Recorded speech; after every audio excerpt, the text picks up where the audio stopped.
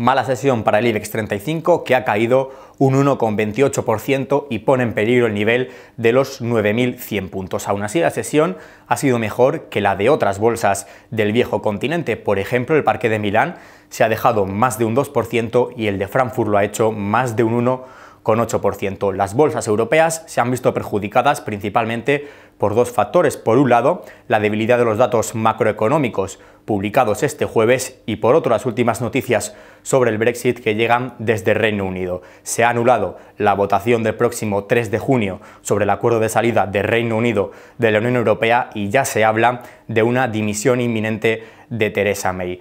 Esta dimisión de la primera ministra británica ha lastrado las bolsas, pero ha beneficiado a algunas compañías, como por ejemplo a IAG, que ha subido un 0,97% y ha sido la más alcista del IBEX 35. También se ha visto beneficiada por la caída del precio del petróleo, por ejemplo, el barril de Bren ha caído un 2,5% y se paga ya por debajo de los 70 dólares. En el lado de las pérdidas, las compañías más castigadas han sido las que más tienen que perder en la guerra comercial entre Estados Unidos y China. Por ejemplo, Siemens Gamesa y ArcelorMittal se ha dejado un 4%, aunque la más perjudicada ha sido Técnicas Reunidas, que lo ha hecho más de un 5%. Ponemos el foco, por último, en el mercado de divisas. El euro se cambia por un dólar con 11 centavos, aunque ha tocado mínimos de dos años durante la sesión. La libra también está sufriendo y se encuentra en caída libre.